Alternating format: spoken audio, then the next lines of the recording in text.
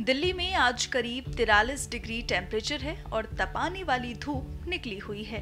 धूप के साथ चलने वाली लू ने लोगों की हालत खराब कर दी है।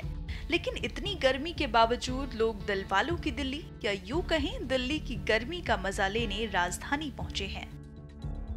बहुत ज़्यादा परेशानी हो रही है यहाँ पे घूमने आए थे। गर्मी बहुत ज़्यादा लग रही है। बस में भी गर्मी लग रही है, ट्रेन में भी लग रही है। काफ़ी बार नींबू पानी पी चुके हैं गर्मी से बचने के लिए डिहाइड्रेशन से बच सके ताकि।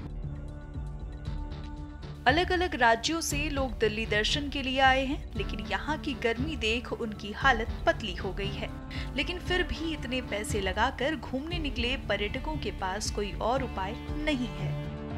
हम अरुणाचल से आए हैं, घूमने आए थे दिल्ली, लेकिन यहाँ आके पता चला इतनी गर्मी है। अभी हम आए थे टैक्सी से एसी टैक्सी से एसी का भी एसी तो चल रहा है, फिर भी गर्मी इतना ज़्यादा है।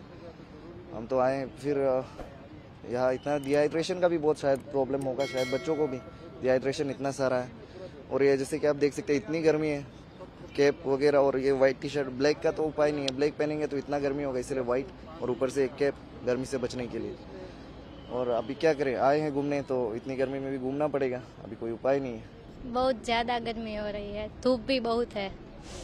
और हमें प्रॉब्लम भी हो रही है, इसीलिए चश्मा लगाना पड़ता है और नींबू पानी ये सब पीना पड़ता है। बट अच्छा लग रहा है। घूमने आए इसलिए। हम सूरत से आए हैं।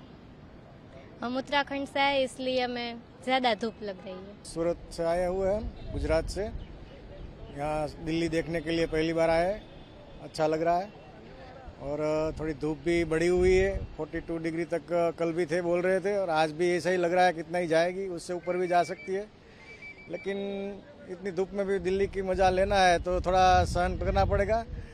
थोड़ा ठंडा पवन तो है लेकिन फिर भी मज़ा आ रहा है। थोड़ा गर्मी है धूप है लेकिन इंजॉय करना है तो धूप सहन कर रहे हैं। और उत्तराखंड में हम केदारनाथ बद्रीनारायण होके आए तो वहाँ तो बर्फ़ में हिम बारिश में से होके आए हैं, तो यहाँ थोड़ा ज़्यादा लग रहा है कि यहाँ ज़्यादा हीट है क्योंकि ठंड में से आ रहे हैं तो थोड़ा ज़्यादा महसूस हो रहा है गर्मी का।